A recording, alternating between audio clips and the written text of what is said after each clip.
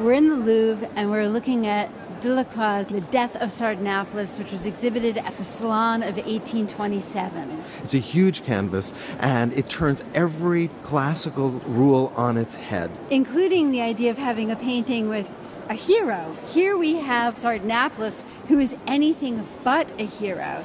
This is the height of Romantic painting, and in fact, its story comes from a Romantic poet, Lord Byron, and it's the story of this Assyrian king Sardanapalus who is being vanquished in battle, but rather than surrender, has decided not only to kill himself, he's going to destroy everything that he finds pleasure in. The women, his slaves, all of his ornament, all of his treasure will be burned, everything will come to an end. So, this is a giant funerary pyre. So he sits high up on that bed, propping his head up, looking with supreme indifference at the end of the lives of the women in his life, the end of all of his beautiful possessions. So, this is a painting that is about corruption, and it is the antithesis of the nobility of David and of the neoclassical tradition that came before Romanticism. If you think back to neoclassical paintings with their very rigorous construction of space, where you can really clearly see where everything is in relationship to everything else, here we have a space that's just full of objects, all of the king's really luxurious possessions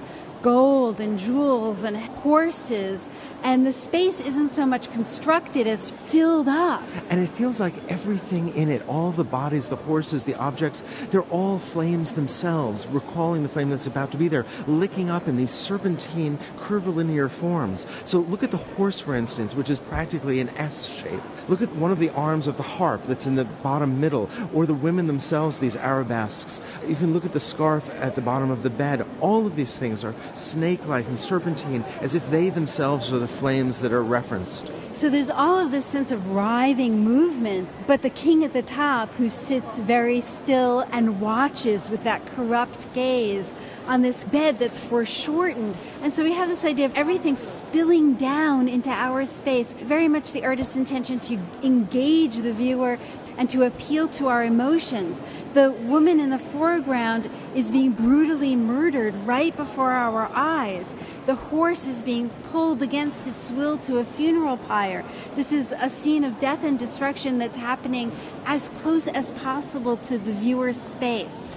This must have been such a huge shock to a public that was used to looking at the clarity and precision of geometry, the rationalism, the heroism of the neoclassical. All of this violence, all of this luxury is perfectly suited to Delacroix's signature use of brilliant color, at least in contrast to the kind of modulation of color that the very subtly colored paintings that were traditional in the salon before. If we look at the flesh of the figures, we don't see just that normal tonal modeling that we'd come to expect in neoclassical paintings, but we see figures where the shadows are greens and blues and the highlights are oranges and gold. Delacroix is really thinking about color in a much more emotional and passionate way. This painting really is an orgy of violence, it's an orgy of luxury, and it's an orgy of corruption.